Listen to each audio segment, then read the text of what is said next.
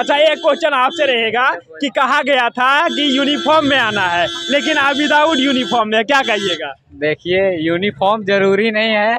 मतलब ज़रूरी है ज़रूरी लिखना ज़रूरी है। अरे वाह ये तो बात सही है लेकिन सरकार ये लागू किया था कि यूनिफॉर्म में लोग जाएँगे लेकिन आपको एंट्री करते समय दिक्कत नहीं हुआ। अब देखिए एक दिन में लागू कर देगा स्टूडेंट कैसे क्या होगा?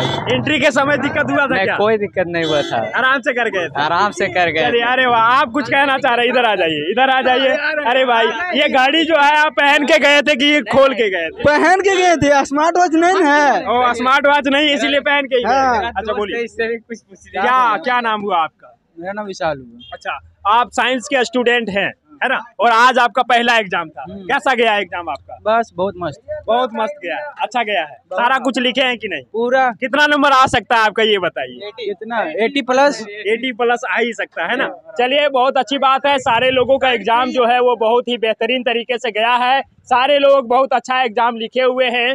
और यहाँ पे जितने भी स्टूडेंट बाहर निकले, सभी के चेहरे पर मुस्कान था। सभी लोग बोल रहे थे कि मेरा एग्ज़ाम जो है, वो बहुत ही बेहतर गया है। और आज साइंस का स्टूडेंट सारे लोग, अंग्रेज़ी का एग्ज़ाम बहुत ही बेहतरीन तरीके से दिए हैं। तो उम्मीद है कि इसी प्रकार से आगे आने वाले जितने भी एग्ज़ाम हैं, वो बेहतरीन तरीके से हो अच्छा से हो और सारे लोगों को यहाँ पे जिस प्रकार से बताया गया कि चेक करके इंटर किया गया और अंदर में चोरी भी नहीं चला तो इस प्रकार का यदि हो तो बहुत अच्छा रहेगा। स्टूडेंट ने बताया कि जितने भी एग्ज़ाम में क्वेश्चन आए थे, सभी बहुत ही ईजी था और हम सभी क्वेश्चन का आंसर बखूबी दे पाए हैं।